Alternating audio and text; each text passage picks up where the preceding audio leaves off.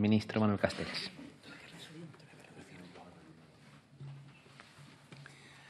Muchas gracias, señorías, a todas y a todos por sus intervenciones, eh, de las que he tomado buena nota y que es seguro que nos van a ayudar a mejorar eh, nuestra gestión. Eh, como han sido precisos y detallados, al menos en algunas intervenciones, pues también lo seré yo y para no dejarme ninguna, iré por el mismo orden contestando lo más posible aquello que tenga respuesta. Eh, aquello que son opiniones o políticas o personales de carácter más amplio, pues lo dejamos ahí y seguiremos eh, hablando en otros contextos. Eh, al diputado Tomás Guitarte, creo que expresar simplemente mi acuerdo profundo sobre la importancia de cubrir la brecha digital en el territorio. Totalmente de acuerdo. Porque eh, yo creo que se está avanzando muchísimo en eh, compensar a aquellos eh, estudiantes o profesores que tienen problemas de, conexión, de procesamiento telemático informático en las universidades. En particular, las universidades han tomado medidas ya durante este verano. Pero de poco sirve si el territorio eh, no está bien conectado. Esto decirle simplemente que, eh, que, hay un plan de digitalización mucho más amplio, de, no solamente de las universidades, sino eh, de administraciones públicas, de sanidad, de justicia. Y por otro lado, pero insisto, también es lo mismo, también tiene que corresponderse a una expansión y mejora de las redes de conexión en el territorio. Y decirle que en este sentido eh, uno de los eh, elementos básicos del, plan del Gobierno para la eh, utilización de fondos europeos es precisamente el mejorar, incrementar, desarrollar a muy corto plazo las redes de conexión y la digitalización en su conjunto. Esto yo diría es casi una de las líneas prioritarias que además corresponde a lo que son las decisiones de la Comisión Europea, apostar por la Europa verde y la Europa digital. Y en ese sentido estamos, en estos momentos, estas semanas, estamos elaborando el plan de digitalización y de mejora de las redes que eh, esperamos que pueda ser en parte financiado por los fondos europeos. Por tanto, incidir en ese sentido. en el plan de, seguridad y salud, eh, estoy también personalmente de acuerdo en que las figuras responsables, aparte de que sean puntos de contacto, que también pudieran ser figuras que tuvieran una capacidad eh, sancionadora individualizada de comportamientos no adecuados a la eh, responsabilidad sanitaria que todos tenemos que, tener. Creo que algunas universidades lo han estado considerando, pero de todas maneras me lo anoto para tratarlo en la próxima reunión con la eh, CRUE, eh, con la que nos reunimos regularmente, eh, para mm, sugerir que lo, dejen mucho más claro y que puedan ejercer esa capacidad sancionadora, aunque recordando que eso, una cosa es poder tenerla en la universidad y otra cosa es poder tenerla cuando se cruza la calle y no se está en la universidad. Y ahí está el problema. Ahí está el problema. Eh, y decirle también que eh, una reunión la semana que viene con las organizaciones estudiantiles voy a tratar de, pedirles su colaboración para conjuntamente ver qué, podemos hacer, porque no solo las universidades, sino los universitarios minimicen esos comportamientos que para mí son eh, mucho menos, mucho menos frecuentes e importantes de lo que se dice. Pero todo lo que pueda haber, tenemos que entre todos, pero con los estudiantes, no contra los estudiantes, tratar de que se minimice. Insisto, una cosa es el campus, otra cosa son los universitarios. Y fuera del campus las universidades no pueden hacer nada. Eh, mientras que fuera del campus hay, por un lado, la autoridad competente en cada caso en función de las medidas que se hayan tomado y por otro lado yo creo que más bien yo creo mucho en la en la conexión social, en, el hecho de que los pares, es decir, los jóvenes entre ellos, vayan hablando y vayan concienciándose conjuntamente y que esto puede disminuir. Aún así, insisto que eh, estadísticamente hablando, el principal punto de contagio que ha habido en estos meses de verano descontrolados han sido reuniones familiares. Ese es el primero, reuniones familiares y de amigos, no necesariamente de jóvenes. Eh, y, ahí yo estoy de acuerdo que se está exagerando, sobre todo eh, a veces en los medios de comunicación, en eh, centrar el foco solo sobre los jóvenes, que, insisto, empíricamente no es cierto.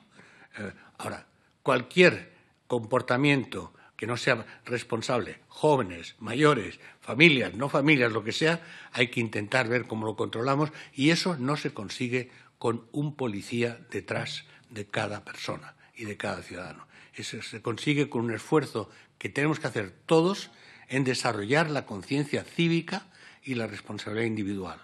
Eh, ya sé que a veces se dice, bueno, pero es que de todas maneras no hacen caso.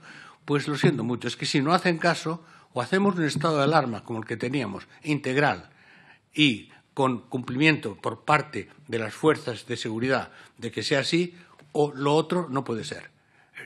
Eso es lo que también tenemos que tener conciencia. La responsabilidad individual no puede ser sustituida por un control policiaco y, desde luego, judicialmente, legalmente, no lo podemos hacer sin un estado de alarma integral al que el Gobierno no quiere volver y al que creo que las comunidades autónomas tampoco quieren volver.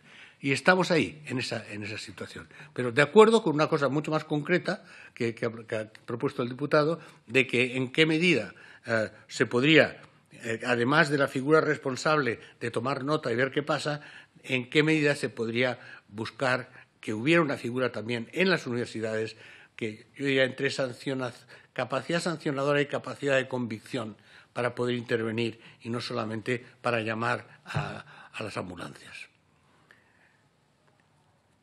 El, contratación de docentes, pues Estamos proponiendo, obviamente, una mayor contratación de docentes, pero eh, por esa contratación las comunidades no lo pueden hacer si no es a través de eh, un aumento de los presupuestos que se les transfieren. Presupuestos que en este caso no son finalistas en general. En el marco de, las, eh, de los fondos COVID, sí está incluido que uno de los destinos recomendados para los fondos COVID, para el uso de los fondos COVID, es la capacitación del profesorado. Esa, capacitación puede entenderse como capacitación solo del profesorado existente o el reforzamiento del profesorado. Depende, en ese sentido, por un lado, de la decisión de las comunidades eh, autónomas de cómo se utilizan esos fondos y, por otro lado, eh, la eh, decisión de cada universidad.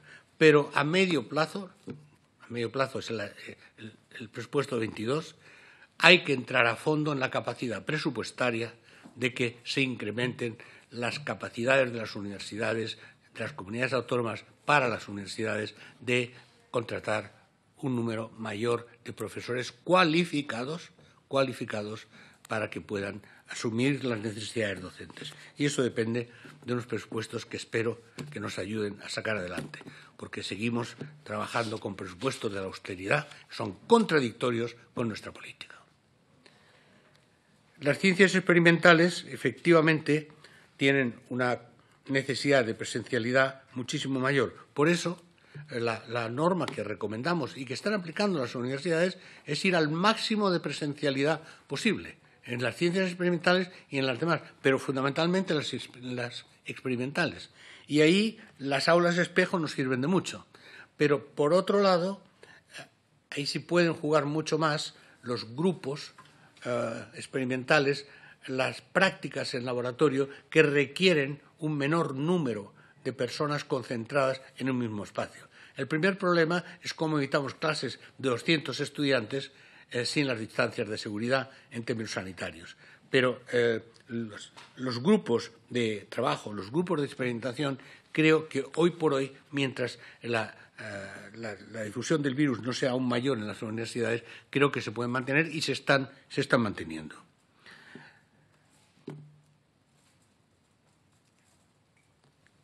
En cualquier caso, comparto sus preocupaciones, estamos en eso y como usted sabe, porque se lo he comunicado, estamos trabajando muy seriamente con la UNED en un plan de, eh, revitalización del territorio, de luchar contra la llamada España vaciada o España despoblada, eh, en base a los centros territoriales de la UNED y a una serie de acuerdos y, iniciativas concretas que desde el Ministerio se va a apoyar y eh, en contacto con la UNED estamos encontrando fondos, fórmulas, etcétera, y tal. Supongo que lo sabe usted, pero decirle porque es una noticia de ahora, de esta semana, que como un ejemplo, un ejemplito de lo que estamos empezando a hacer, eh, se ha llegado a un acuerdo ya formal entre, con el apoyo del Ministerio entre la UNED y eh, el Ayuntamiento de Alcañiz para desarrollar el centro territorial de Alcañiz con muchas más actividades y, por otro lado, el eh, crear un centro de investigaciones humanísticas en Alcañiz eh, que permita empezar a ser un prototipo de lo que se puede hacer en otros lugares del territorio español. A la, diputada, la señora diputada del, Grupo Vasco, eh, eh, insistir en que la colaboración con eh, las comunidades autónomas y en particular con Euskadi en este caso, em, deben responder al principio uno, que es lo constitucional. Eso es lo que dice la Constitución de este Estado. Eh, y segundo, es mucho más eficaz. Estoy totalmente de acuerdo con usted la centralización y la homogenización en, todo el mundo ya sabemos que fracasa, que lo importante es el principio de subsidiariedad, que aquello que se puede hacer a un nivel local, autonómico, a un nivel territorial más descentralizado, pegado al terreno, en colaboración con la sociedad y en colaboración con las instituciones de esa sociedad, ayuntamientos, gobiernos autonómicos, es lo más eficaz, es a la vez lo más constitucional y lo más eficaz. Entonces, eh, no solo estoy de acuerdo en su conjunto, es parte de la política del Gobierno, la cogobernanza, y además es lo que, como ahora eh, precisaré para no duplicar las, respuestas, em, estamos haciendo desde este Ministerio sistemáticamente. Es yo diría que es el principio fundamental de gestión que estamos llevando, no hacer nada como Ministerio sin la colaboración de las instituciones autonómicas, de los representantes de las universidades, de los representantes de los estudiantes, de los representantes de los trabajadores. Eso es el principio fundamental de nuestra gestión. Y a veces es un poco más lento, más pesado, pero bueno, ustedes lo saben, la democracia a veces es lenta, pero eso es la democracia. Y la participación, que para nosotros va más allá y profundiza la democracia, también puede eh, querer decir que hay que avanzar, retroceder, verificar, calibrar, pero cuando finalmente se consigue algo, se consigue con consenso y con capacidad de aplicación. Porque el ordeno y mando, en este país desde luego no funcionó, eh, pero además tampoco funciona en ninguna parte. Estamos en democracia, vamos a profundizarla en todos sus terrenos y esa es la política del Ministerio. Evidentemente, como usted dice, la planificación de una pandemia es casi contradictorio. Em, ¿Cómo vas a planificar un virus? El virus nos planifica a nosotros. Entonces, pero hay que tener capacidad de reacción, capacidad de adaptación rapidísima y ganarle al virus en eso, en que él puede proliferar y nosotros ya estamos listos para la, nueva, etapa de la difusión. Con lo cual, esta constante adaptación es, como usted dice muy bien, un problema para la coordinación de las administraciones. Pero yo le diría, también es un reto, es que nos puede servir para agilizar eh, esa descentralización, agilizar esa colaboración de las administraciones y a la fuerza ahorcan, como dicen.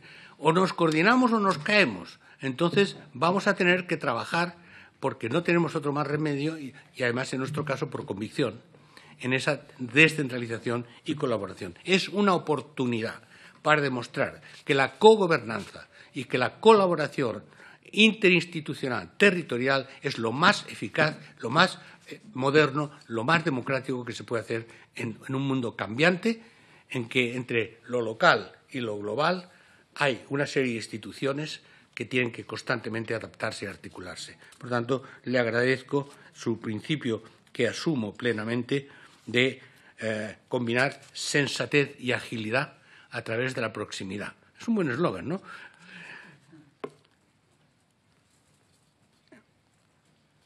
Entonces, ahí nos tiene y ahí nos seguirá teniendo, como, como creo que podemos ir verificando. un plan de contingencia online, eh, sí, pero, eh, insisto, no queremos pasar al modelo online completo. Hay una discusión pendiente, pero que tiene que ser un gran debate, y un debate sobre datos concretos y sobre políticas propuestas, de qué papel puede tener eh, la enseñanza online y la investigación online. En, el mundo actual sería absurdo decir que vamos a seguir enseñando como en la Edad Media.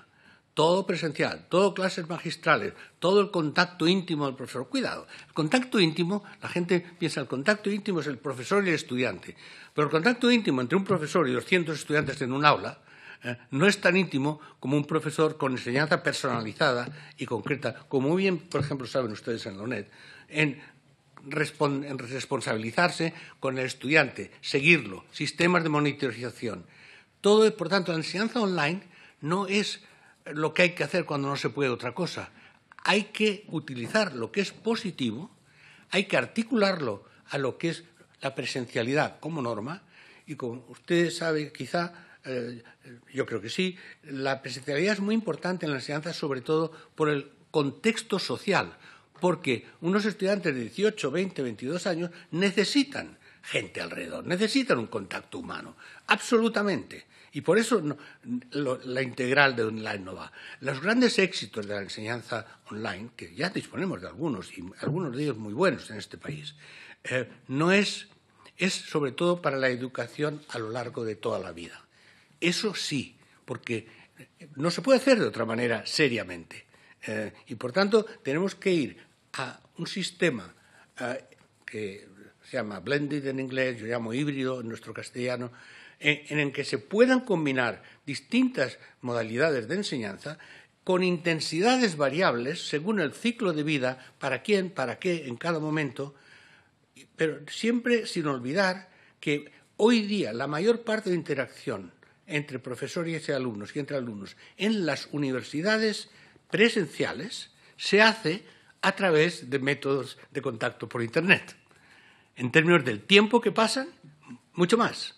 Eh, por tanto, la cuestión no es elegir entre uno u otro, es ir adaptándolo. Pero esto es un debate mucho más en profundidad y que no debemos hacer ahora en, medio de la pandemia. Lo que sí la pandemia nos ha ayudado es cómo nos hemos tenido que adaptar, eh, quisiéramos o no, a la enseñanza online. Ahora hay mucha gente que antes lo miraba con, una distancia enorme y ahora, sobre todo entre los enseñantes, y que ahora se han dado cuenta que hay cosas que se pueden hacer y que, por tanto, no es solamente para replegarse, sino que tenemos que controlarlo y avanzar en los aspectos positivos. Como el teletrabajo.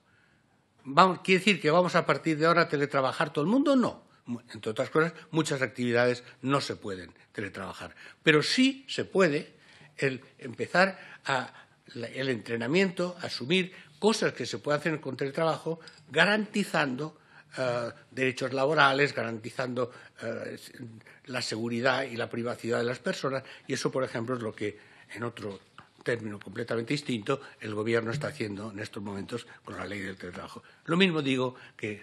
Y, por tanto, sí que tenemos que hacer, como eh, alguno de sus señorías ha, señalado, una regulación organización de las enseñanzas online. No digo de las universidades online, que eso es otra cosa y también lo vamos a hacer, pero de la metodología online, de las enseñanzas online, de que eso, le prometo, señoría, que lo estamos haciendo y no para dos años, para este curso. Una regulación eh, de las enseñanzas online. Lo que pasa es que, de nuevo, Eso habrá que consultarlo. Habrá que consultarlo, por ejemplo, con las universidades que ya tienen experiencia en esto en nuestro país, en particular con la UNED, naturalmente. Eh, eso lo vamos a hacer, lo tenemos que hacer. Eh, pero estamos atendiendo, de momento, a los temas más urgentes. ¿Cuáles son los temas más urgentes? Los que ha señalado el Grupo Socialista, tasas, becas y estatuto del PDI, que es lo que ahora hablaré. Eh, ¿Por qué son los más urgentes? Primero, porque son los puntos programáticos, son lo que habíamos dicho en el programa del Gobierno de coalición que haríamos. Y este Gobierno tiene la manía de que los programas se cumplen. Y se cumplen. Y se cumplen aun en medio de la tormenta, mientras se maneja la tormenta. Lo otro sería una cobardía, sería refugiarse en que hay una pandemia, nos olvidamos del programa. Pues no, como hay una, una pandemia, hay que hacer más que nunca este programa, entre otras cosas, porque los dos grandes temas que surgen de la pandemia van a ser la capacidad o no de, sobrevivir a la crisis económica, social, que se manifiesta a partir de ahí, y de esa crisis solo se sale con más eficacia, más productividad, más investigación y más igualdad social, no menos. Y eso no puede esperar. No es uno y otro, son las dos cosas a la vez. Y mientras intentamos que se muera el menos gente posible y que haya los menos contagios posible. Eh, perdone que haya mezclado un par de intervenciones, pero creo que intelectualmente están articuladas. Eh, y manteniendo todavía respuestas a lo que eh, usted plantea, señoría, dos temas con los que coincido, programas de ayudas para las personas en dificultad, aparte de lo que ya he señalado, eh, hay una serie, como usted sabe mejor que nadie en Euskadi, una serie de programas específicos en, muchas comunidades y en muchas universidades para ayudar a los estudiantes, para ayudar a sus familias, y eso está ahí y se, reforzará en la medida en que las comunidades tengan recursos. Y las agencias de evaluación, creo que me agoté hoy en explicar todo lo que estamos haciendo con las agencias de evaluación. No hacemos nada sin eh, consultarlo con ANEC y las demás agencias de evaluación. Y me permito decir, porque creo que lo han dicho eh, en un comunicado público, que en la reunión que, que tuve del 5 de septiembre de coordinación con la REACU, que como saben ustedes es la que reúne todos, pues cuidado, ANECA es la agencia estatal, pero es una agencia estatal que no tiene competencias en la mayor parte de las comunidades autónomas. Y ANECA no tiene problema con eso, porque es parte de esa red y, anima con sus recursos, sus, proyectos, sus propuestas, pero están muy conjuntadas y funcionan muy bien juntas. Pero yo lo que les propuse y estamos haciendo es una coordinación a partir del Ministerio y las agencias no solo lo agradecieron y lo vamos a seguir haciendo, sino dijeron que era la primera vez que un ministro reunía a todas las agencias en un comunicado público. Yo no estoy para que me echen ninguna flor porque no me interesa, no me importa. Lo que quiero es hacer cosas que queden y que funcionen. Eh, pero bueno, que sepan que las agencias de calidad piensan lo contrario de algunas de sus señorías aquí. A la señora diputada de Ciudadanos, a su señoría, eh, le agradezco su interés por mis eh, contradicciones y angustias personales. No se preocupe, eh, yo lo manejo. pero lo del café sigue vigente, pero llámeme. Ahora bien, yo tengo responsabilidad, naturalmente, este ministerio tiene responsabilidades muy importantes. Que yo estuve en desacuerdo personal y lo manifesté públicamente el día de mi toma de posesión con la separación entre Ministerio de Universidades y Ministerio de Ciencia, eh, pues sí, pues sí, y me parece más eficaz, pero, era una decisión política y en eso yo no entro. Eh, o entro en un gobierno que ya ha tomado sus decisiones o no entro. Pero si entro, no puedo decir sí, a condición de que ustedes se adapten a, lo que yo pienso en este tema. Pues no.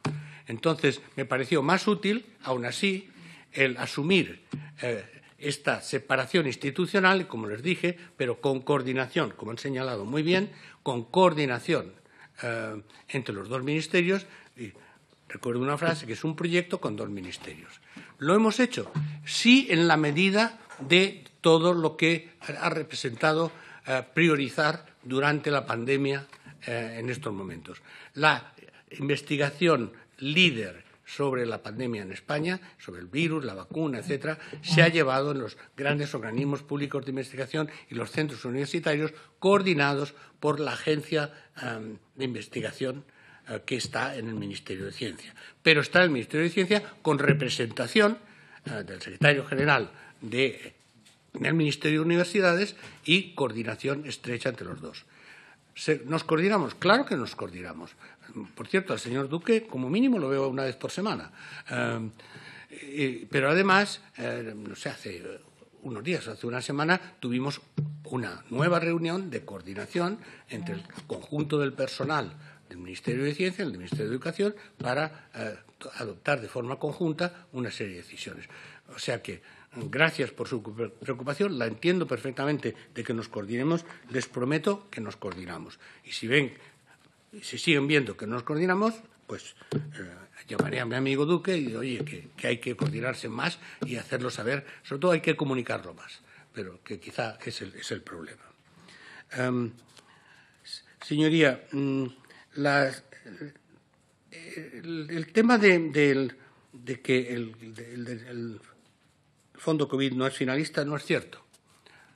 No es cierto. Es finalista. Es finalista. Y le digo por qué. Porque, porque en el decreto ley de creación del fondo COVID se dice exactamente que para, eh, hay un fondo educativo de 2.000 millones, de los cuales 400, perdón, el 20%, pero es fácil calcularlo, el 20% es para educación superior. Literalmente el decreto ley. Y quienes no lo utilicen para eso están incumpliendo la ley. Así de claro. Y lo he consultado mil veces con la ministra de Hacienda, eh, con el Gobierno en su conjunto. En el decreto ley de creación del Fondo COVID dice exactamente así: 2.000 millones para gastos educativos, de los cuales el 20% están destinados a educación superior. Esa es la ley. Y si no se cumple eso, se está incumpliendo la ley. Soy consciente de las dificultades que está habiendo entre eh, algunas, no la mayoría, alguna eh, comunidad autónoma y las universidades correspondientes. Eh, y hay muchas tensiones entre ellas, que yo estoy intentando resolver y coordinar hablando con unos y otros, y que yo entiendo que las comunidades autónomas tienen problemas de financiamiento y, cuando reciben una transferencia que han recibido en el mes de septiembre, intentan ver cómo pueden eh, negociar con las universidades, algunas de las cuales tienen un remanente. Todo eso es un tema complejo, pero que es para educación superior es una cuestión legal que está en el decreto. Lo siento mucho, míreselo si no se lo ha mirado, porque es ahí. ¿eh? O sea, literal, transcripción. Eso se puede observar eh, por Internet en toda la publicación del Gobierno. La eh, gratuidad universal de las universidades. Pues sí, señor. Ese es no solo mi modelo, sino es el modelo de lo que, a un cierto, de las públicas, claro, de las públicas, que son las que, eh, las que tenemos competencia. Pero la idea de una una perspectiva, digo bien, perspectiva de, eh, gobierno, de un gobierno progresista como el nuestro, es llegar a un sistema eh, de educación universitaria que sea, eh, por un lado, lo más universal posible en términos de accesibilidad de, de becas y gratuito. ¿Por qué podemos tener una sanidad gratuita y no una educación universitaria gratuita? No hay ninguna razón. No hay ninguna razón. La única, presupuestaria. Ahí sí, ahí la sigo. Y claro, si en lugar de ampliar la financiación del sistema universitario lo cortamos 20%, como se hizo entre 2008 y 2018, pues ahí no, ahí más bien es lo contrario. Es cómo sobreviven eh, sin aumentar las tasas. Pero la solución no es aumentar tasas y que las familias paguen la universidad pública, sino es el aumentar impuestos y llevarlos, una parte de estos, a la financiación de la universidad pública para todos. Y a montar impuestos a quien, a quien pueda pagar más y a las grandes corporaciones. Eso es, eso es el programa estratégico de nuestro gobierno. ¿Estamos locos? No. Entonces, ¿qué quiere decir? Que cada medida hay que ir adecuándolo a lo que políticamente es posible, entre otras cosas, como se decía muy bien aquí, por como los representantes de los ciudadanos, que no somos nosotros, sino ustedes, por un lado, y por otro lado, adecuándolo también a las dificultades presupuestarias, a las crisis económicas que nos han sacudido, dos enormes, sobre todo esta, en, pocos años, hay que ir adecuándolo. ¿Qué quiere decir adecuarlo? Pues que hicimos un acuerdo eh, mayoritario, mayoritario, se no fue unánime, con las comunidades autónomas para eh, reducir, en todo caso, congelar, eso sí, el precio de los precios públicos de las universidades, pero que en función de lo que se podía hacer, algunas comunidades, como Cataluña, lo redujeron el 30%, eh, otras eh, lo mantuvieron. Eh, ¿Quién cree ustedes que fue la universidad que mantuvo las, la, la comunidad, que mantuvo las tasas más bajas y que por tanto no, hubo que, no tuvo que cambiarlas? Sorpresa, sorpresa, Galicia. Galicia gobernar desde hace mucho tiempo por el Partido Popular. Eh, pero es que hay Partido Popular y Partido Popular, entonces, eh, afortunadamente. Entonces, eh, yo más soy del modelo gallego, pero, pero realmente Galicia, Galicia lo mantuvo. Galicia, y por tanto Galicia no ha tenido que reducir nada.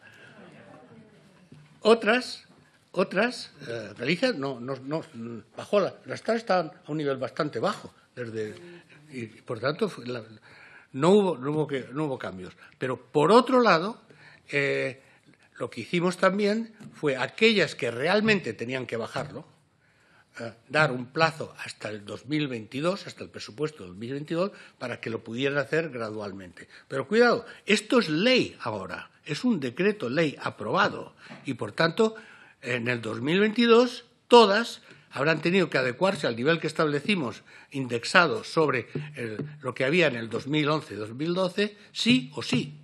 Y si no, es ilegal. Y para eso sirven los gobiernos, para legislar y hacer cumplir la ley.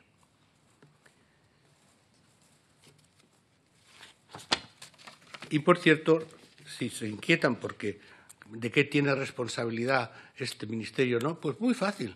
Tenemos, por mucha descentralización que tengamos, tenemos la responsabilidad legislativa aplicable al conjunto del Estado. Somos quienes hacemos las leyes. Y las leyes es, en último término, lo que manda. Y ahí está, ahí está, diputada, la negociación constante y sincera para no introducir en la ley nada que invada competencias.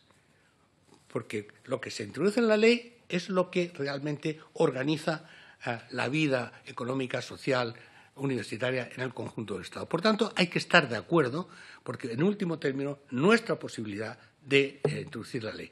Y la otra responsabilidad que tenemos es como gobierno, no como Ministerio de Universidades, sino como gobierno, el asignar recursos, recursos presupuestarios eh, a las comunidades autónomas, pero teniendo en mente, o sea, no se, no se envía un paquete así sin saber para qué, eh, teniendo en mente qué distintos elementos de financiación son necesarios en función del interés de los ciudadanos en cada momento. Por tanto, yo creo que si tenemos la ley y una fuerte influencia sobre lo que se asigna en términos de recursos, yo creo que hay bastantes responsabilidades en este Ministerio, además de eh, supervisar y ayudar a la investigación universitaria, que les recuerdo es el 60% de la investigación que se hace en el Estado. La idea de que es solo los organismos públicos de investigación no es cierta. Y las empresas, desgraciadamente, con algunas excepciones, todavía no hacen suficiente investigación. También tendremos que avanzar en ese sentido. Y, bueno, pues eh, la convalidación de títulos, algo que usted también planteó. Mire, eh, hablando fundamentalmente de lo que interesa en estos momentos de títulos sanitarios. En este año, en lo que va de 2020, hemos convalidado 1.900 títulos sanitarios. 1.900. Em, de los cuales la mayoría durante el estado de alarma mediante un proceso acelerado de convalidación. El viernes pasado se convalidaron 360 títulos sanitarios. Mañana se convalidan quiere decir que ya se acaba el expediente, 500 títulos sanitarios más. ¿Por qué? Pues porque hemos dado prioridad a estos títulos sanitarios por razones obvias y para eso firmé una orden ministerial modificando la regla general de que los títulos, las peticiones de convalidación eh, se procesan en, en el orden de llegada para decir, sí, eso era antes, pero en situación excepcional se puede hacer esto y está haciéndose. Está haciéndose con todas las garantías de calidad de convalidación del Ministerio, de ANECA, etc. Em, y un, último punto que, planteó eh, muy em, adecuadamente la, diputada de, Ciudadanos, em, pero que se ha planteado en, su conjunto y, por tanto, para no repetir, eh, contesto en, general. El PDI, el famoso PDI. ¿Saben qué pasa? Que, como todos ustedes señalan muy bien, es extremadamente importante. Y además es un punto central del programa de coalición. Y siguiendo nuestra metodología de gobernanza, estamos tomándolo absolutamente en serio, lo cual quiere decir consultarlo y en la mayor medida posible consensuarlo con el conjunto de la comunidad universitaria y de los actores sociales. Entonces, eh, hemos realizado múltiples, decenas de reuniones. Eh, mire, sobre reuniones del Ministerio, yo personalmente, desde el mes de marzo, he realizado 31, 31 reuniones con los actores sociales institucionales para discutir los distintos proyectos. 31 y el conjunto del Ministerio, siguiendo mis instrucciones, 30 más, 61 reuniones para acordar y avanzar consensuadamente. ¿Qué ocurrió? Pues que nosotros empezamos con un borrador, un borrador preliminar, como hacemos siempre, yo creo que parece ser inevitable en este país, pero borrador preliminar confidencial que se pasa a, los actores para empezar a hablar, antes de que empecemos a hablar, ya están los titulares de los medios de comunicación. Bueno, a ustedes también les pasa, o sea que me, entienden. Sería bueno que hiciéramos un pacto eh, entre nosotros de que hasta que no tengamos, no digo el producto final, pero hombre, algo mínimamente hablado, no lo saquemos a los medios de comunicación. Pero es igual, eso no es el problema. El problema es el que se concentren. Sacamos un primer borrador. Lo discutimos con todos los actores institucionales y sociales, con los sindicatos, con las comunidades autónomas, con la CRUE. Eh, lo hicimos.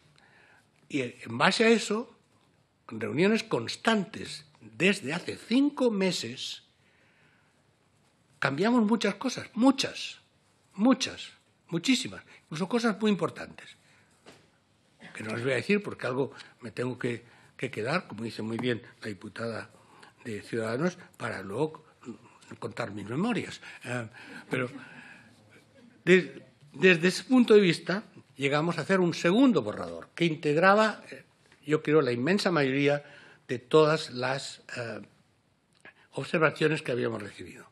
Obviamente, no contentó a todo el mundo. Por tanto, en el mes de agosto, trabajando, y en septiembre, hicimos un tercer borrador. Por eso no tienen ustedes nada todavía. Pero ahora, más o menos, al final de septiembre, creo que habremos llegado a discutir todo lo que se pueda discutir sobre este tercer borrador. Cada borrador son horas y horas y horas de discusión, rectificación, verificación de todo lo que hacemos. Porque recuerden, ustedes como parlamentarios lo saben mucho mejor que yo, que además no vale ningún borrador legislativo si no va acompañado de una memoria económica. Y por tanto también estamos elaborando la memoria económica. La memoria económica no puede ser totalmente contradictoria con las previsiones de presupuestos que tenga el Gobierno. No para el 21, porque el PDI no estará aprobado para los presupuestos del 21, pero para el 22. Y por tanto también hay otro actor muy fundamental, que es el Ministerio de Hacienda, con el cual tenemos que coordinarnos en términos de la memoria económica. Si no, no es serio. Eh, si no, les prometo que si no tengo que poner números, les hago un proyecto que dé contento, deje contentos a todo el mundo y sin problema. Pues no. Hay que hacer ese esfuerzo de consenso, integración y articulación con las capacidades presupuestarias para llegar a un PDI que sea lo más uh, convergente posible con todos los intereses y propuestas. ¿Qué pasa? Pues miren, lo digo claramente, lo que piden algunos actores es totalmente contradictorio con lo que piden otros. Por tanto, no solo es elaboración, rectificación, es negociación, pero no negociación con el Ministerio, sino entre lo que piden distintos actores eh, o, por ejemplo, distintas comunidades autónomas o distintas eh, fuerzas sindicales. Entonces, todo eso es lo que estamos intentando integrar. En último término, ¿quién va a tener la palabra? ¿El Ministerio? Ah, ustedes. En último término, les llegará un proyecto de ley que tendrán que discutir, elaborar, cambiar y desarrollar. Y después del borrador, ¿qué viene? Pues después del borrador viene una cosa que saben mejor que yo, que es el reglamento de aplicación, que es donde está la letra pequeña y donde eh, es directamente operativo. Y ese reglamento, como ya les hemos dicho a todos los actores, lo vamos a seguir hablando y discutiendo durante meses, pero no vamos a parar la ley. La ley tiene que aprobarse antes pero tampoco ahora, ¿eh? Pero, como dijo muy bien el secretario general, una ley que ojalá pueda, ojalá, pero no, no lo garantizo, pueda aprobarse a principios del año próximo, pero eh, en todo caso hay que ir avanzando en ese proceso y la, el desarrollo de implementación de la ley es un reglamento que vamos a estar discutiendo meses, otros meses más, con lo cual habremos estado casi un año discutiendo todo lo que va a pasar ahí, porque queremos hacerlo serio y lo más consensuado posible. ¿Será posible? No lo sé.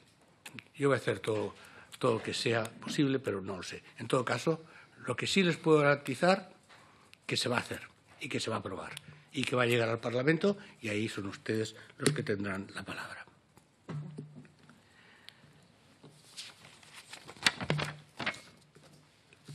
Sobre el, grupo plural, Miren, em, reiteradamente en el Senado y aquí he dicho que sí, que tiene usted razón, que las becas hay que transferirlas.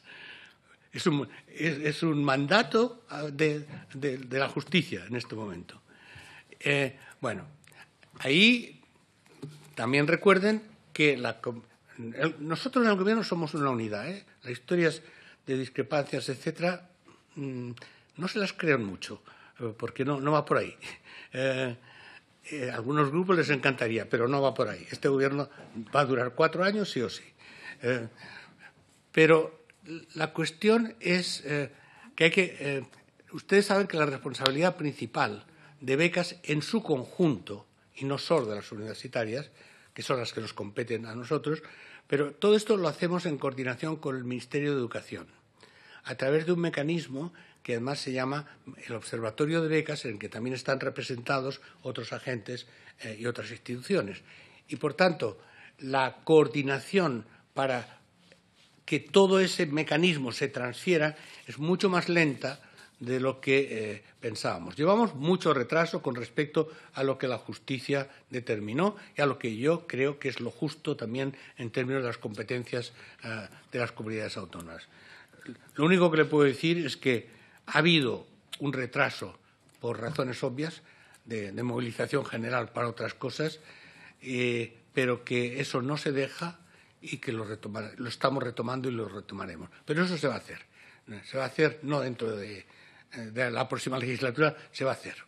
Se va a hacer. Pero si no lo hacemos, dennos duro, porque eso hay que hacerlo. La, la, después, la coordinación de, que señalaban, de, por ejemplo, de, de, los ministerios, pues mire, sí, en, hay cosas importantes que, que nos estamos uh, coordinando. Uh, por ejemplo, estamos llevando en, en coordinación la, las becas de formación al profesorado universitario, las becas de formación de investigadores. Uh, y que estamos realmente aumentando enormemente el número y la cuantía, tanto para las universidades como para los organismos públicos de investigación. Y ahí, en, estos días, hemos estado coordinando con el Ministerio de Ciencia para ver cuántos invierten unas, cuántos invierten otras en el conjunto del Gobierno. Pero mm, sí que eh, les. Eh, tiene usted razón de que la coordinación que estamos haciendo y que la estamos haciendo entre los dos ministerios tiene que ser más visible. Y lo va a ser. Es una de las cosas que ya me han notado que, tenemos. Porque además no hay ningún problema con el ministro Duque ni con el Ministerio de Ciencia para hacerlo. A veces estamos tanto en el trabajo de lo que hay que hacer que no tenemos en cuenta que no todo el mundo sabe lo que está pasando. Pero lo vamos a hacer.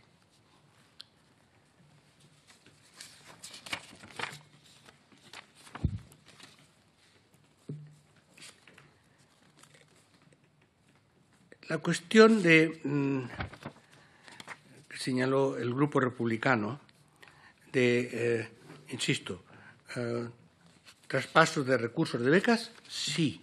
De nuevo lo ratifico y creo voy a, voy a ocuparme de esto inmediatamente porque lo hemos dicho varias veces y, no, avanza. Eh, hay, que avanzar. lo que plantearon de la gratuidad del sistema universitario insisto, es la perspectiva estratégica, pero no para el próximo siglo, sino para esta legislatura, lo que se pueda avanzar, lo que se pueda avanzar. Pero no puedo dar fechas, porque nadie puede dar fechas si no es en función de los presupuestos. ¿Que el PDI aumenta la precarización? Pues no. Cuando ya empecemos eh, a poderles transmitir el, el programa, pero tengo una cierta resistencia a comunicar detalles demasiado concretos cuando se está haciendo la última ronda de negociación y consulta a los distintos actores.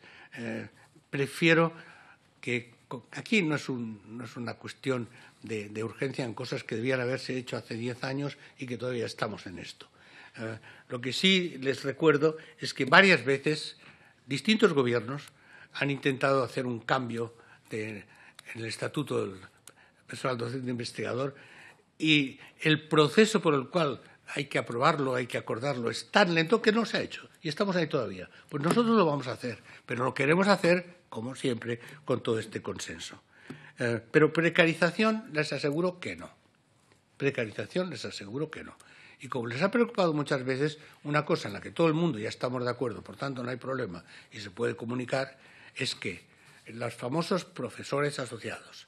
Los profesores asociados eh, son un elemento esencial del funcionamiento del sistema universitario, evidentemente, pero a condición que sean los que dice la ley. ¿Y qué es lo que dice la ley?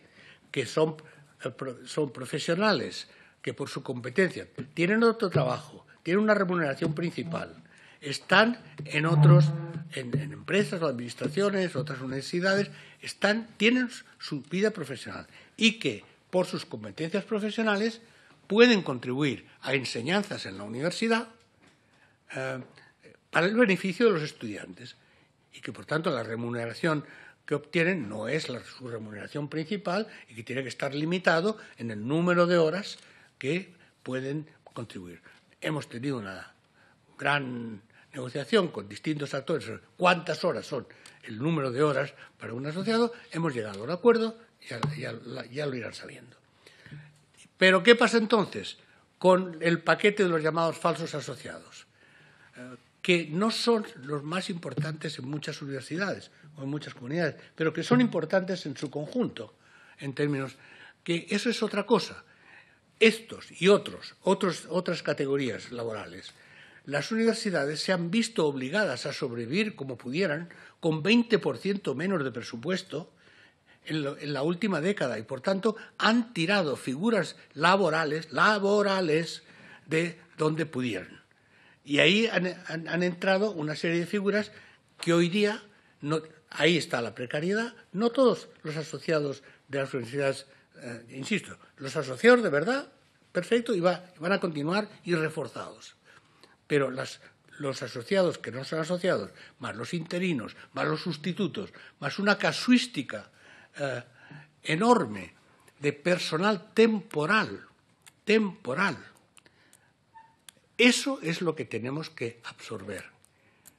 Hoy día, eh, el personal eh, temporal representa más o menos hasta un 40 o un 50% como media, depende de cómo los contemos, y mucho más en algunas comunidades y universidades. Eso es lo que no queremos.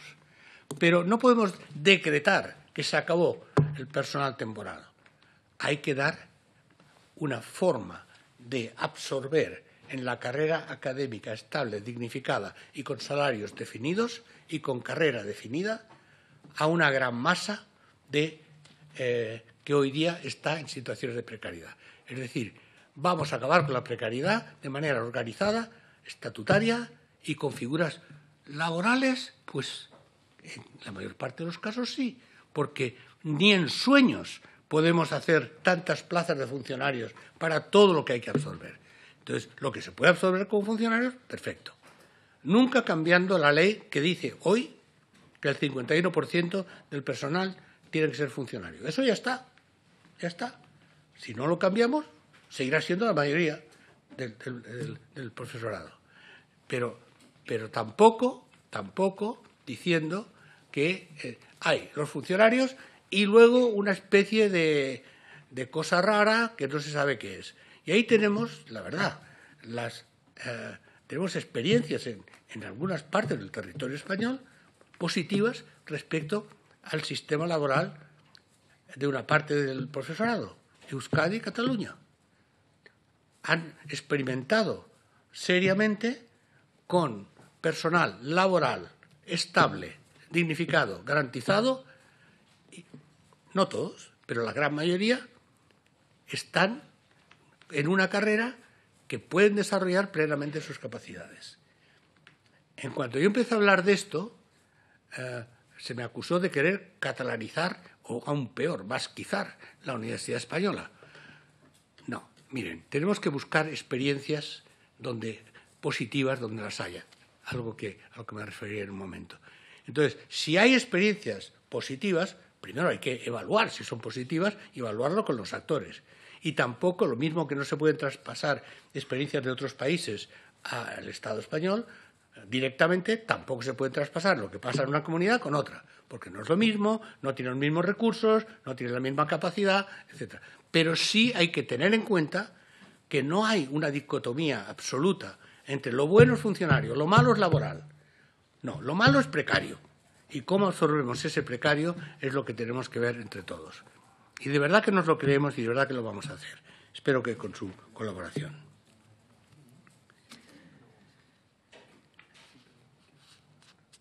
La prioridad eh, que, planteaban de eh, prioridad de de financiación de los centros universitarios, eh, absolutamente. Eso, eso se llama prioridad presupuestaria en los próximos uno o dos años. Siempre con respeto a la autonomía universitaria y siempre con respeto a todo lo que hay que hacer. la situación de los MIR a mí personalmente me parece un escándalo. Eh, eso, la situación eh, no, todos, no todos los MIR. Los MIR es una figura muy útil muy importante, pero eh, con sus condiciones de trabajo, sus condiciones de precariedad. Por cierto, eh, cuando se habla de que hay que inmediatamente mm, convalidar títulos porque si no, no hay suficientes médicos o personal sanitario, en Madrid, por ejemplo, no es cierto. No es cierto. Hay muchísimos médicos. Hay muchísimos. Lo que pasa es que en Madrid en concreto, y no es para decir nada a nadie, en Madrid en concreto tienen eh, trabajos mucho más precarios, a veces de dos o tres días, de unos días, cobran mucho menos, con más precariedad y sin condiciones laborales suficientes. ¿Qué hacen? Pues se van o a la privada, o a otras comunidades que pagan mucho mejor, o al extranjero. Por tanto, la cuestión no es más, es mejor es con qué calidad, con qué estabilidad, con qué seguridad. Y para los MIR, los mismos. La situación de los MIR no es porque sean MIR, es por cómo los contratan a los MIR en, algunas comunidades autónomas. Y volvemos a lo de siempre. Pero es que no hay recursos. Bueno, pues habrá que priorizar los recursos que haya. Y eso sí, yo estoy convencido, y este Gobierno también, que hay dos prioridades, la sanidad y la educación. Y lo demás viene después. Lo demás viene después.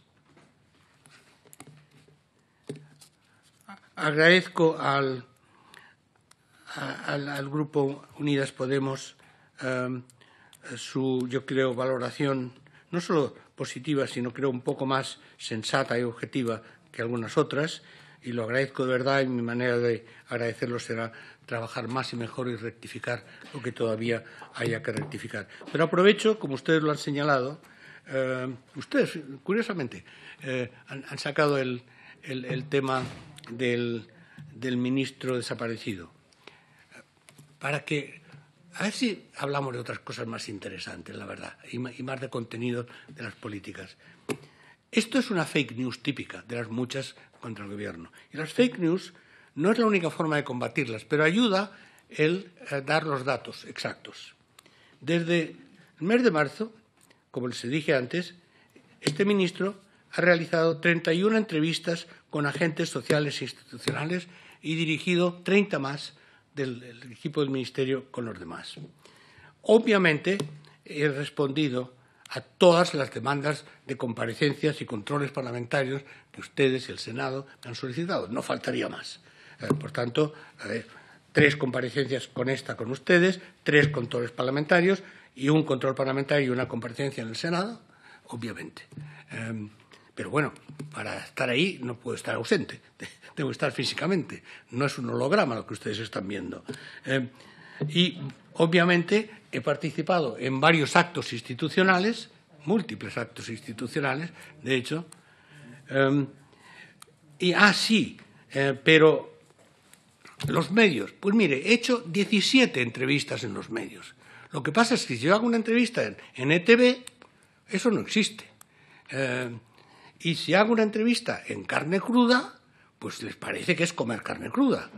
Pero resulta que carne cruda es lo que realmente los jóvenes escuchan, o la cafetera, pero también, en plan ya digno, pues La Vanguardia, Telemadrid, etcétera, etcétera. 17 entrevistas. Tengo la lista para quien quiera consultarlo. Tampoco he desaparecido. Y, sigo, y voy a seguir. Em, lo que sí es cierto es em, algo que algunos señalaron, que yo prefiero trabajar a comunicar y que en general intento eh, trabajar primero y comunicar después. Y a veces hay un momento de intensidad de trabajo en que todo está en eso. Y prefiero hacer eso y luego comunicar. No es contradictorio, y el hecho de que no es contradictorio es por los datos que yo les he dado, que no son de desaparecido, sino de objeto de una fake news de desaparecido, que es distinto. Y ahí ya, eso sí que también forma parte de mi proyecto de investigación futura, cómo se gestó e-, esa, esa fake news. Eh, pero es una fake news. Incluido el tema de que mm, me alegro mucho, eh, señoría diputada del Grupo Popular, que le gustara el programa de visitas a universidades, porque a mí también es un tema fundamental. Y como usted dice muy bien, en, desde en cuanto tomé posesión el mes de febrero, hice Dos, inmediatas. Eh, inmediatas. No puedo estar viajando todo el tiempo, pero fui a la Universidad del País Vasco, fui a la Universidad de Barcelona y luego pensaba seguir a razón de una, dos por, por mes seguro. Eh, ¿Y qué pasó? Pues pasó lo que pasó, ¿vale? Que declaramos el estado de alarma. El estado de alarma solo terminó, les recuerdo, el 21 de junio. Por tanto, durante ese tiempo era totalmente desaconsejado no solo viajar yo, sino viajar con mi equipo, pero además luego reunir en las universidades, porque mis visitas no son de saludar a, los rectorados, mis visitas son de nueve a nueve, reunión a puerta cerrada y sistemática con los diferentes actores separados. Esas son mis visitas.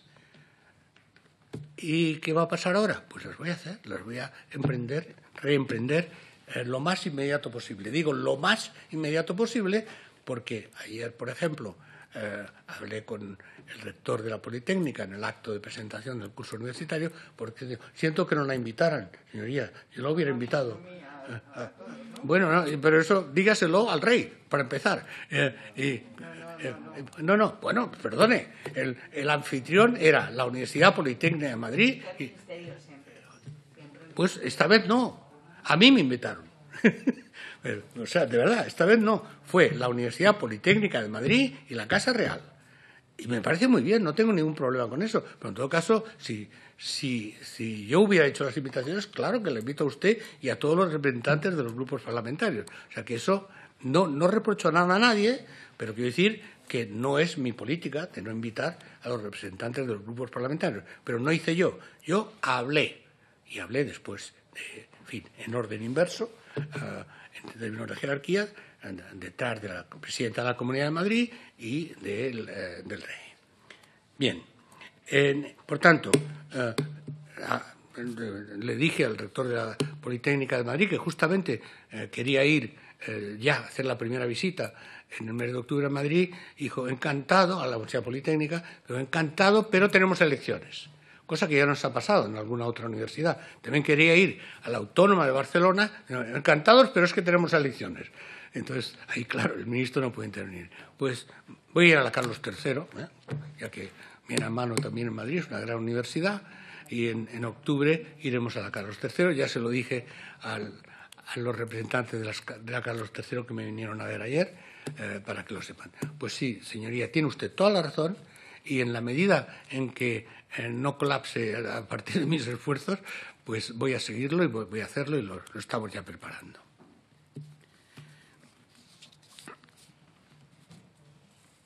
Em, ¿Qué más me, habían dicho? Por tanto, mm, gracias, eh, gracias, em, diputada de Unidas Podemos, por eh, referirse usted misma al tema de, la ausencia eh, ficticia que he querido aclararles. También me alegro de que haya transmitido la opinión de la CUNE porque esto también se lo quiero decir, la CRUE, la CUNE, todos los actores de la comunidad universitaria, la Asociación de Profesores Asociados, todos los que nos hemos reunido, siguen pensando que están coordinados con el Ministerio, que no hay, ni mucho menos, esa distancia que ustedes, algunos de ustedes, eh, señalan. No es así, no es así, pregúntenselo. Yo lo único que puedo decir, pregúntenselo. Eh, Unidas Podemos se lo pregunta, pues le dicen, pero y Unidas, la CUNE no es una sucursal de Unidas Podemos, que yo sepa. Eh, ni, ni, ni, quieren serlo ellos, ni quieren Unidas Podemos. Y por consiguiente, eh, y la CRUE lo mismo. La CRUE, desde el principio de mi gestión, nos reunimos regularmente, a veces con reunión semanal o cada dos semanas, etc.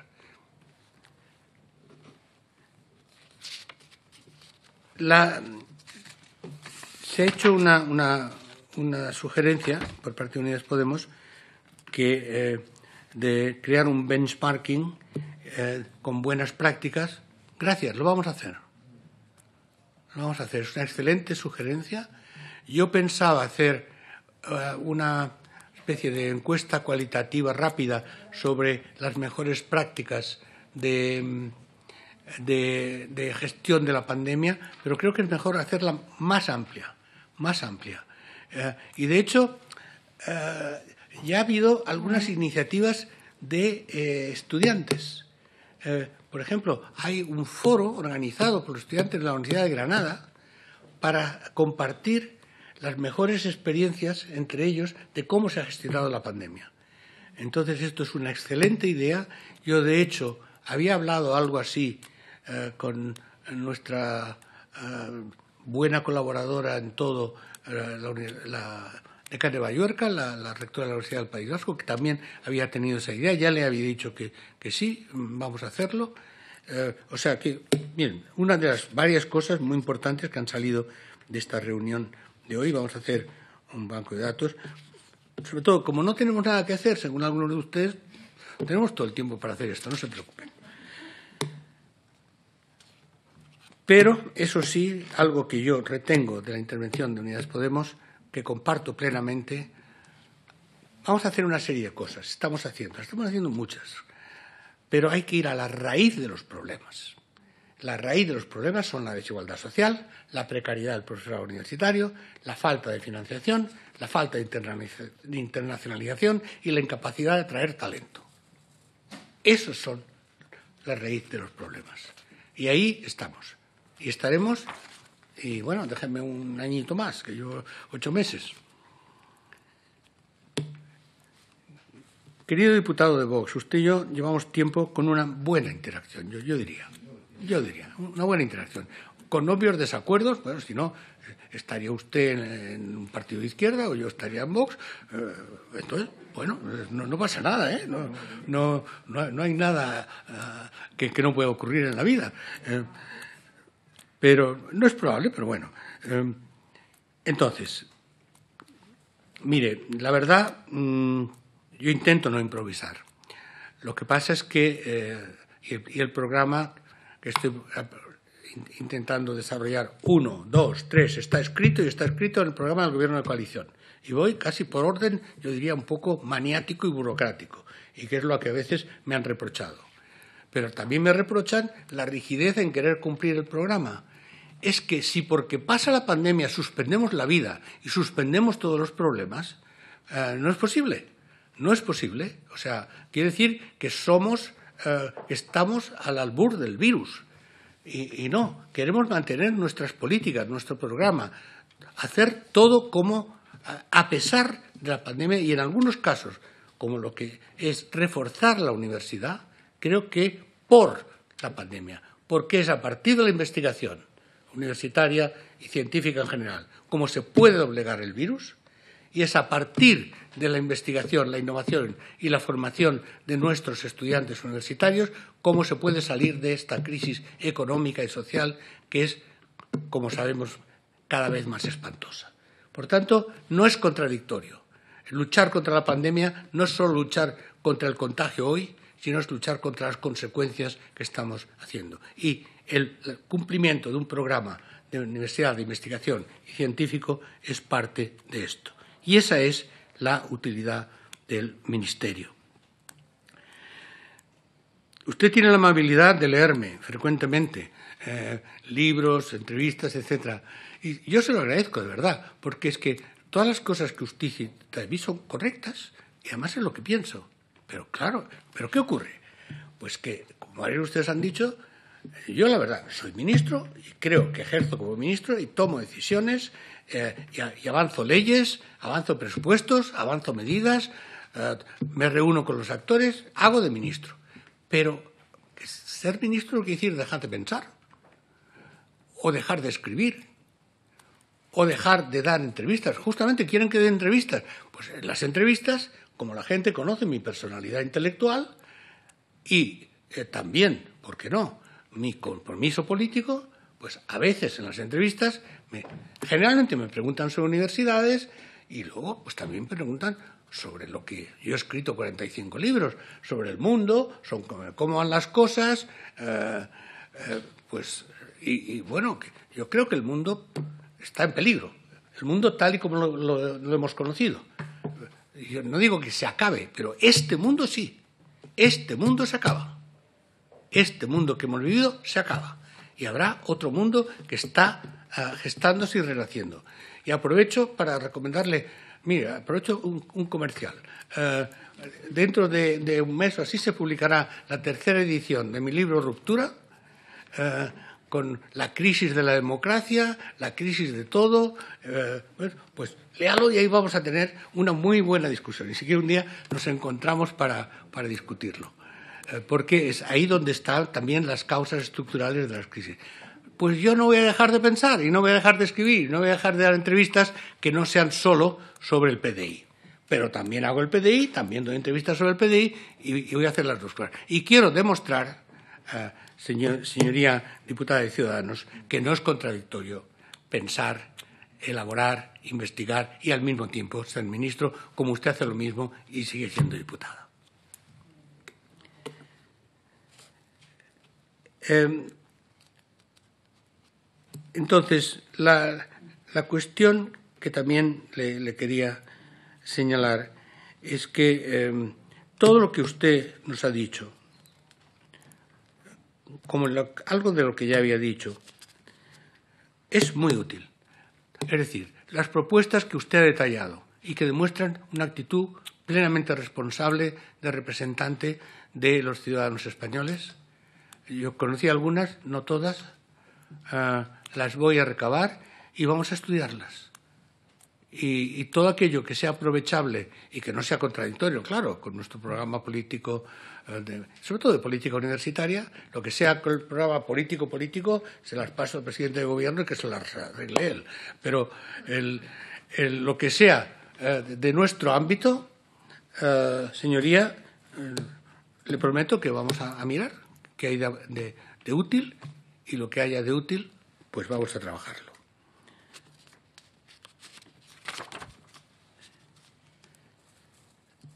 Señora diputada del PP, claro que el Parlamento es esencial. No estoy aquí solamente porque tengo que estar, y sí o sí, eh, sino es que realmente creo que es la esencia de, lo que es la democracia. Tiene que haber gobiernos, gobiernos que tomen decisiones, gobiernos que avancen, y tiene que haber control, crítica, debate y oposición cuando haga falta y convergencia cuando haga falta. Lo único que les pido, lo único que les ofrezco es que lo que podamos converger, que lo hagamos.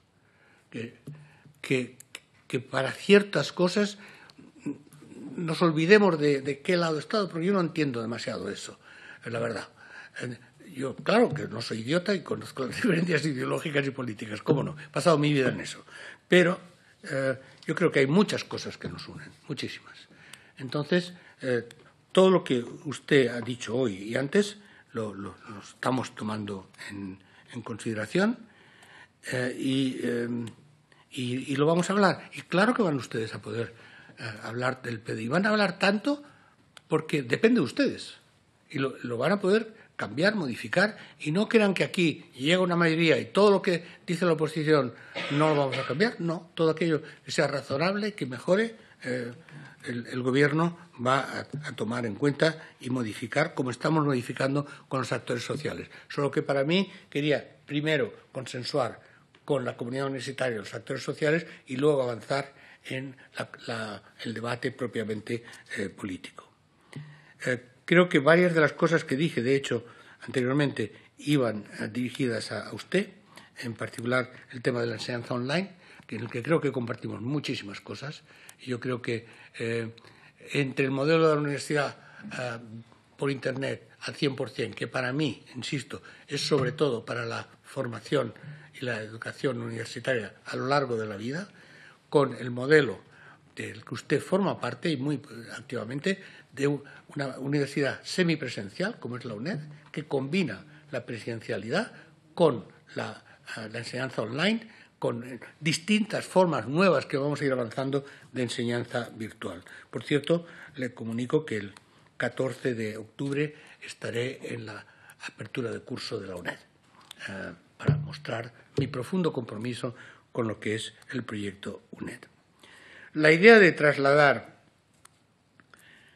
la Universidad de Estados Unidos, que no es la de Estados Unidos, es las universidades que todo el mundo habla, 100, exagerando 200, hay 4.000 universidades en Estados Unidos y la mayoría no llegan ni a la suela del zapato la mayoría de universidades españolas.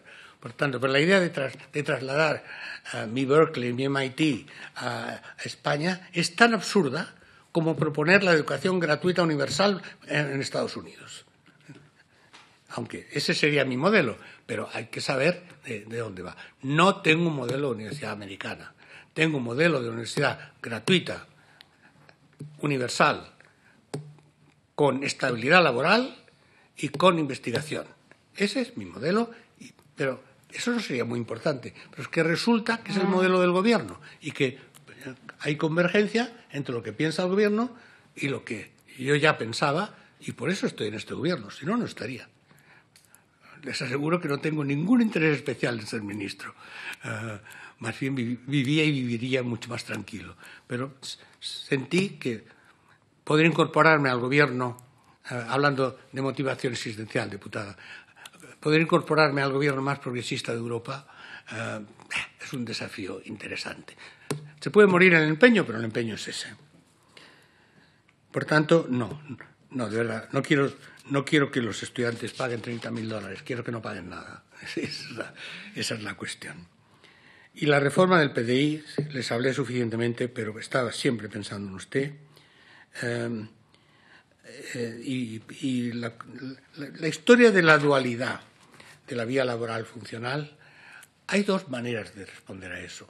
Una, vamos a hablarlo, vamos a discutirlo, pero sobre todo partiendo de la experiencia, de la experiencia del territorio, del Estado español, de la experiencia que ha habido en Cataluña y en Euskadi sobre la eh, fecundidad de la vía laboral sin que eso aumente la precariedad. Hablemos de eso, hablemos en concreto y luego vemos por qué eso no es posible en Madrid o no es posible en Andalucía y lo vemos y lo adaptamos. Pero de entrada no se puede eh, rechazar esto, porque se, toma como el que vale, eh, vale para funcionar y el que no vale laboral. Pues no, no es así. Hay gente, y además usted es demasiado joven para eso, pero durante la transición eh, la, izquierda, de la que yo formaba parte, nuestro modelo y del movimiento de profesores no numerarios, los famosos TNN, nuestro modelo era todo laboral en ese momento. Y lo cambió, o sea, no, lo ejecutó el gobierno socialista cuando llegó al gobierno, eh, porque se dio cuenta de que eso sí que podía crear así de repente una, una precariedad considerable. Entonces, eh, por tanto, se ha ido a un modelo que predominantemente es funcionarial, pero con aperturas, posibilidades, desarrollos. Esa flexibilidad que estamos planteando para todo es la que yo quisiera también en este sentido. Eh, eh, hay que revertir los recortes, absolutamente, absolutamente, eh, diputados. y esto quiero que lo asumamos todos, como decía el Grupo Parlamentario Socialista. Em, insisto, venimos de una situación de cuasi destrucción presupuestaria de la universidad. Mire, no me diga que es contra el Partido Popular. Yo digo, el dato es 2008-2018. Póngalo usted donde quiera, pero, pero, en fin, parece que es más bien hacia a partir de 2011. Pero, pero ese es el dato. ¿Había políticas de austeridad necesarias? Sí y no. Como usted sabe muy bien, hay un debate de cuáles han sido o podían ser políticas de manejo presupuestario de la crisis. Pero estoy de acuerdo en que debemos mirar al futuro. De acuerdo. Eh, pero, hombre, es normal que cuando intenten echar responsabilidades, pues la izquierda eh, les recuerde que, cuidado, que, aquí hay cuentas eh, pendientes. por tanto, me parece justificado que haya un debate a condición de que de ese debate saquemos una síntesis. Como dice muy bien el Grupo Parlamentario Socialista, hay que coordinar las medidas, eh, hay que coordinarlas con los actores sociales, institucionales, hay que coordinarlas con las fuerzas políticas, empezando obviamente con las fuerzas políticas eh, del Gobierno, que apoyan al Gobierno, y eh, yo añadiría también, porque está en línea de lo que señala el presidente del Gobierno, con las fuerzas políticas, prioritariamente con las fuerzas políticas que apoyaron la investidura, porque son los aliados naturales del Gobierno. Eh, si luego hay otros grupos que con buena intención y discutiendo puntos programáticos se quieren añadir, tanto mejor, a condición de que los presupuestos sean progresistas, de que las políticas sean progresistas, quien quiera apuntarse, perfecto. Pero no en puntos fundamentales que contradigan el programa, porque eso sí que sería el engañar a los ciudadanos, que te elijan con un programa y hacer otro. Y por tanto, el programa lo vamos a cumplir, yo solo hablo ahora aquí de universidades, pero aprovechando en todos los puntos que salieron del, eh, del voto de investidura. Consenso de todas estas medidas absoluto, absoluto. Y en particular de las medidas de adaptación a, este curso, em, solo les recuerdo que, a pesar de las diferencias políticas que hay en las comunidades autónomas, las medidas concretas de sanitarias y de adaptación de la enseñanza a la situación sanitaria se aprobaron eh, en la reunión del 31 de agosto por todas las 17 comunidades autónomas No hubo disensión en esto. Esto es el tipo de política que yo creo que hay que hacer, que podemos discutir muchas cosas, pero que cuando se trata de algo como controlar la crisis sanitaria en las universidades y hacer que esta crisis eh, no menoscabe la calidad de la enseñanza, que podamos acordarlo. Y como muy bien señala el Grupo Parlamentario Socialista, y yo remacho esa intervención, se puede hacer en puntos concretos importantes mínimo se puede hacer y en la reunión del 31 de agosto las comunidades autónomas, las 17 comunidades autónomas estuvieron presentes y no objetaron a ninguna de las medidas que a, lo largo de la reunión habíamos ido acordando. Eso es lo que yo espero y es lo que ojalá podamos hacer. Gracias, diputados. Si insisten, les volveré a hablar, más brevemente.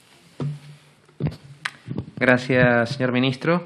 Abrimos un nuevo turno de intervenciones, esta vez por un máximo de cuatro minutos.